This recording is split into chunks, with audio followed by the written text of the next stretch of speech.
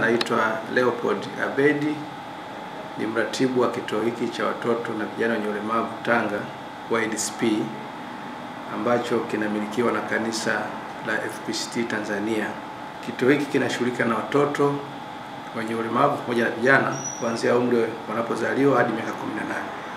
Tupaze sauti kwamba waache wa, wa, wa, wa, wa, watoto sasa washiriki katika maendeleo ya jumla ya, ya taifa, maana ni mchango pia wa katika maamuzi wasidharauliwe kuanzia kwenye mitaa yetu, kwenye kata zetu eh, na wao washiriki kwenye maamuzi pia, kwa sababu ni jukumu lao, lakini pia tuwaruhusu pia wafanye ibada, waingie kwenye makanisa na kwenye misikiti kama kulingana na imani zao, kwa sababu kule nako pia kuna mafundisho ya imani. Kwa hiyo tusiwaache nyuma tukizani kwamba ni walemavu hawezi. Watoto tusiwafiche, watoto watoke na na sidhani kama kuna mzazi bado anamficha mtoto mlemavu kwa kwa muda tuliofikia sasa hivi karne hii, kwa sababu bado kuna fursa nyingi za kuweza kuwasaidia pindi utakapomtoa.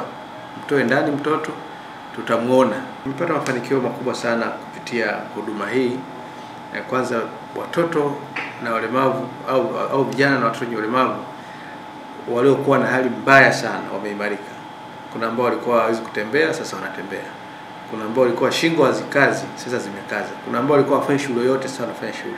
Kwa kwetu sisi tunapata mafanikio makubwa, lakini isiishie hapo tu. tunafanyika na wale ambao sasa wanaweza kujiajiri wenyewe ama kuajiriwa kwenye baadhi ya sekta binafsi. Kwa tuna vijana ambao tayari tumewakuza kupitia kituo hiki, sasa wana shughuli zao wenyewe wanafanya. Kwa hiyo inatufariji sana na wazazi pia wanashukuru. Lakini sio hilo tu, bado wazee tumeunganisha, wameunda NGO yao ya, ya kutetea haki zao za walemavu eh, kama wazazi wenye watoto walemavu. Hii nayo ni hatua kubwa sana, wale wanakutana wanafanya hivi, lakini la mwisho la mafanikio niseme kwamba serikali ya jiji la Tanga imeanza kuwatambua walemavu na kuwapa zile asilimia za, za msaada wa fedha, ule mkopo wa asilimia nne za, za, za walemavu na wanawake. Sisi walemavu tusidharaulike na tusitengwe tunaweza tukafanya vitu ambavyo hata watu wengine ambao ni wazima wanafanya. Kwa hiyo jamii isitudharau, isitu, isitukejeli, isituone kwamba sisi ni watu wa ajabu. Hapana, sisi tunaweza kama nyinyi ambavyo mnaweza. Kwa hiyo na na, na, na si sana jamii kututenga sisi kufanya mambo ambayo si si, si, si akili moyoni mwetu kama kuridhika nayo, kama mtu fulani amenifanyia jambo basi niridhika nalo. Hapana, si vyema sana. Mtuthamini sana na mtuone kama sisi.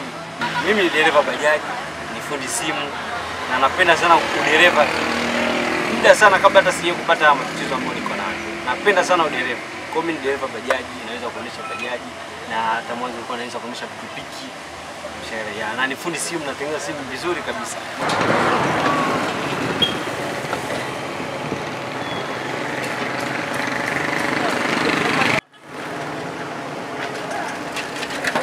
hapo mbele